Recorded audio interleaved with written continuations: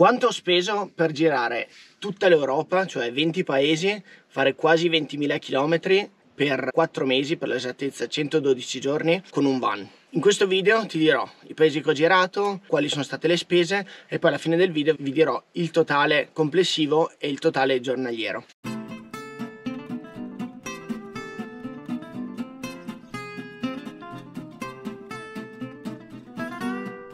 Ciao a tutti e benvenuti sul mio canale Van Sweet Fun. Io sono Ale, alias Mastro Marmotta. Oggi, come vi dicevo, voglio parlarvi del giro d'Europa che ho fatto con la mia ex nel 2018. E sì, ci ho messo un po' di tempo a rimettere insieme tutti i dati, però oggi voglio parlarvi proprio nel dettaglio di quanto mi è costato girare in questo minivan, che è un Opel Vivaro che mi sono camperizzato da me. Vabbè, chi mi segue da un po' lo, lo conosce già bene e per quelli nuovi trovate sul mio canale tutti i video di come l'ho camperizzato e di come è fatto eccetera. Metto i link qua sopra comunque. Una cosa che vi chiedo è di iscrivervi al canale per chi non l'avesse ancora fatto e di mettere un mi piace a questo video. Così per supportare il mio lavoro e farmi capire che, che vale la pena continuare a fare questi video. O anche in giù il pollice se non vi è piaciuto. Prima di tutto vi faccio un riassuntino. Allora, le spese le ho indicate in maniera precisa, al dettaglio. Ogni spesa che ho fatto, che sia stato andare a prendere uno shampoo, una cosa, qualsiasi cosa, sono state segnate tutte. In un video precedente vi avevo dato una stima, però era un pelo sottostimato, ma anche perché in questa volta ho inserito veramente tutto, anche il bollo, l'assicurazione della macchina, telefoni cellulari, tutto, tutto, tutto. Allora, detto ciò, il viaggio, come vi dicevo, è durato quasi 4 mesi, per l'esattezza 112 giorni, iniziando l'8 luglio e terminando il 27 ottobre 2018. Le spese, ho fatto un foglio Excel e anzi una cosa che vi consiglio eh, vivamente, quando viaggiate, quando girate, segnatevi quanto spendete, perché vi rendete conto veramente dove vanno i soldi, perché pensi di aver speso molto meno, ma in realtà i soldi scompaiono e finiscono più velocemente di quanto tu possa pensare. Voi commentando qua sotto potete dirmi se secondo voi è troppo, troppo poco, se l'avete fatto anche voi e nel caso quanto avete speso. I paesi che ho girato sono stati, siamo partiti dall'Italia, quindi abbiamo fatto il giro in senso antiorario, partendo dall'Italia, per chi non lo sapesse io sono di Rovereto, Trentino, e, e siamo andati direttamente in Austria passando poi per l'Ungheria, la Slovacchia e la Repubblica Ceca, quindi facendo un giro così. Tra l'altro abbiamo toccato anche il, il sud della Polonia, per poi riandare in Germania, poi Polonia di nuovo, per poi arrivare in Lituania, Lettonia, Estonia. Qui ovviamente abbiamo preso il traghetto verso nord, abbiamo saltato quell'angolino prima della, prima della Lituania perché fa parte della Russia e quindi lì sarebbe servito un visto turistico che bisognava chiedere al consolato, avere dietro i passaporti, comunque a un costo, e, eccetera, quindi abbiamo optato per saltarlo. Dall'Estonia poi abbiamo preso il traghetto fino a Helsinki, in Finlandia, al sud della Finlandia. Il traghetto non, non ci ha messo tantissimo, tra l'altro dove abbiamo comprato le birre perché è tax free visto che la Scandinavia costa veramente veramente veramente veramente tanto. Tra l'altro anche in Polonia avevamo fatto una mega spesona perché su ci hanno detto che costa tanto. Ed effettivamente è vero quindi un consiglio. Poi magari farò anche dei video se vi possono interessare dedicati proprio al giro ai vari paesi alle varie differenze eccetera ma questo è dedicato alle, alle spese. Poi da qua abbiamo girato tutta la Finlandia per poi andare fino a Capo Nord. Abbiamo fatto Norvegia poi siamo scesi dalla Svezia e poi cosa c'è? attraversato anche lì ponte e, e, tunnel per arrivare in Danimarca. Quel ponte è fighissimo che poi finisce dentro al mare. E, e poi un altro che comunque il costo anche dei traghetti in Finlandia, in Norvegia e anche di, di questi ponti e, e alcune gallerie sono abbastanza elevati e vanno anche ad incidere. Per poi scendere dalla Danimarca, Paesi Bassi, Belgio, Francia Portogallo, mi ha fatto tutta la costa, poi Spagna, Spagna, Francia di nuovo, Svizzera per poi rientrare in Italia. Quindi questo qua un totale di 20 paesi. Il totale dei chilometri che abbiamo fatti sono 19.795 km in tutto, con un consumo di 1685 litri. Allora, questo qua è un Opel Vivaro, è un 2000 turbo diesel, quindi solamente di gasolio abbiamo speso 2286,5 euro che è stata la spesa diciamo maggiore, ok, più influente del, del viaggio, che vuol dire la benzina, cioè il diesel l'abbiamo pagato una media di 1,36 euro eh, al litro e per una media chilometrica euro chilometri di 12 centesimi al chilometro. Qui ovvio c'erano dei paesi come la, la Spagna, sembra, qua ho segnato tutto, dove il, il costo era basso, era sotto l'euro e 20 calcoliamo adesso siamo nel 2021 nel 2020 si sono abbassati tanto causa pandemia ma comunque quando sono partito dall'Italia il costo medio era un euro e mezzo al litro. Quindi diciamo la media di 1,36 euro sicuramente il carburante come vi dicevo incide tantissimo in, nei costi però se uno vuole viaggiare diciamo ad ora vuoi viaggiare in van per farlo andare e questo è l'unico modo. E poi ovviamente se uno volesse risparmiare e star via comunque altrettanto tempo si può benissimo fare ma risparmiando anche meno meno della metà. Perché se qui il costo di 2200 è risultato una media di 20 euro e 41 centesimi al giorno ok quindi ovviamente se uno volesse viaggiare di meno risparmierebbe 20 euro al giorno magari viaggi meno ma il nostro obiettivo era veramente girare tutta l'Europa il più possibile, arrivare fino a Capo Nord e poi arrivare fino, fino in Portogallo.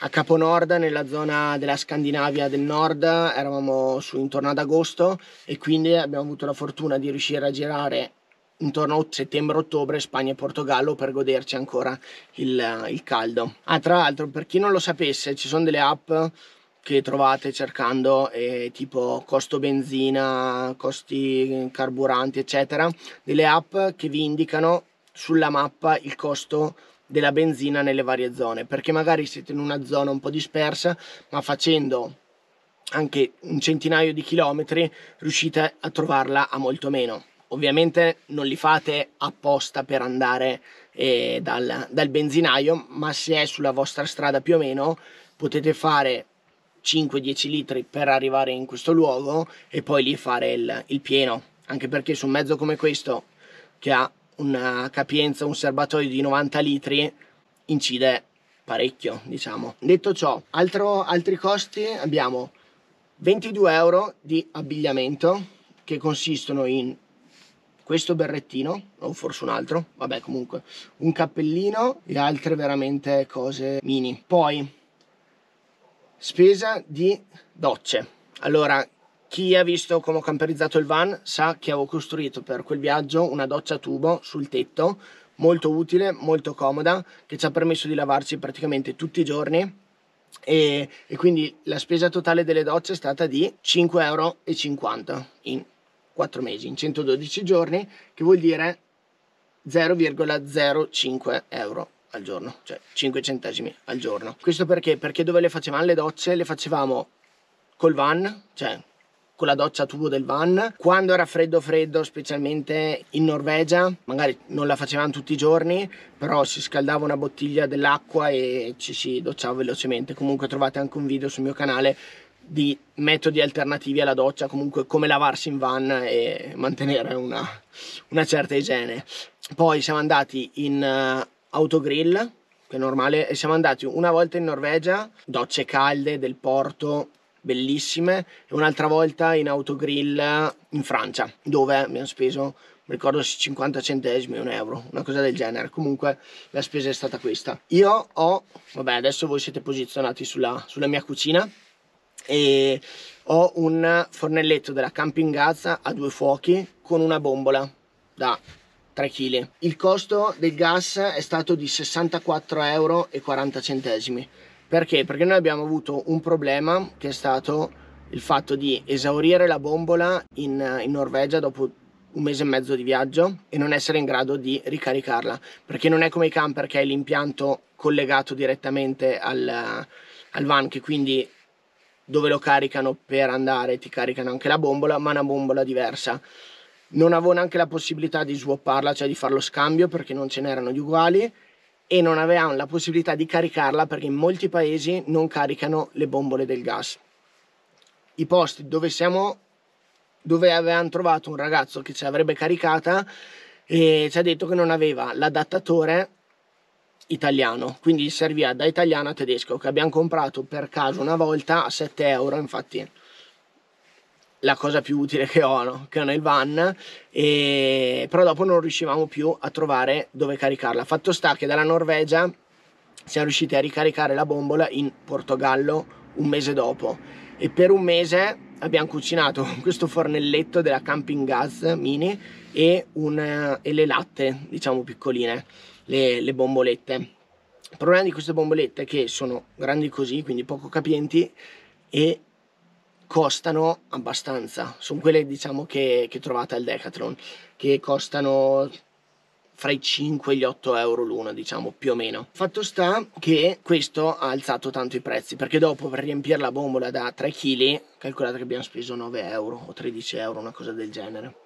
Allora, quindi 64 euro di gas, che vuol dire 58 centesimi al giorno. Il bucato, un'altra cosa da tenere, da tenere, in considerazione. Solitamente lavavamo le cose e quando ne avevamo la possibilità in un catino, in una bacinella, quindi utilizzando l'acqua della doccia o quella del, del rubinetto per poi stenderle con dei cavi attaccati qua dentro oppure se eravamo fermi da qualche parte li stendevamo per, per farli asciugare altrimenti di lavanderie a gettoni che sono molto comode specialmente poi l'asciugatrice così puoi lavare asciugare e riporre tutto nel, negli armadi. E in totale abbiamo speso 15,38 euro che sono 14 centesimi al giorno anche questo molto poco. Manutenzione 46 euro. Diciamo come manutenzione c'erano dentro anche tipo le camere d'aria della bicicletta da cambiare. Ci si era rotto in Portogallo, non so, un sensore, una cosa del riscaldamento che costava altri 20 euro. Però diciamo piccole cose, poi abbiamo preso delle assi, qualche attrezzino ma nulla di che. Quindi qua 46 euro per 112 giorni sono 42 centesimi al giorno. Pedaggi. L'obiettivo, il giro d'Europa l'abbiamo fatto senza fare autostrade, diciamo, perché non volevamo pagare pedaggi. Ma ci sono alcuni pedaggi, e qua rientrano anche i traghetti, che sono obbligatori. Spese maggiori le abbiamo avute in Scandinavia, perché ci è costato il traghetto per arrivare da Tallinn, Tallinn, Helsinki e poi appunto anche il, il ponte in Danimarca che costava solo quello 50 euro e poi alcuni ponti ed alcuni tunnel che ci sono in Scandinavia dove ti viene semplicemente fotografata automaticamente la targa e poi ti arrivano un mese dopo. Quello che è direttamente a casa il, il totale dovuto. Altrimenti anche per, per alcuni traghetti. Quindi diciamo che questi sono stati i nostri pedaggi e calcolate che non volevamo pagare pedaggi quindi vabbè la vignetta in Austria siamo stati mi sembra l'abbiamo presa. E lì siamo finiti per sbaglio in autostrada. Vabbè piccola parentesi. E vuol dire 211,52 euro che sono 1,89 euro al giorno di pedaggi. Poi ho inserito anche costo telefonico. Eravamo in due quindi due telefoni per 4 mesi e 114 euro che sono 1,02 euro al, al giorno. Calcolate, faccio in due, comunque in due sicuramente si risparmia un sacco perché ogni cosa cioè si, si, dividono i costi ovviamente, però a livello di spesa alimentare non cambia in maniera esagerata. E poi uno degli ultimi punti di turismo 62 euro 20 centesimi divisi 112 giorni sono 0,56 centesimi al giorno. Anche qua di turismo abbiamo cercato di visitare il più possibile ma di evitare di andare in tutti i musei, in tutte le cose a pagamento che si trovavano in giro.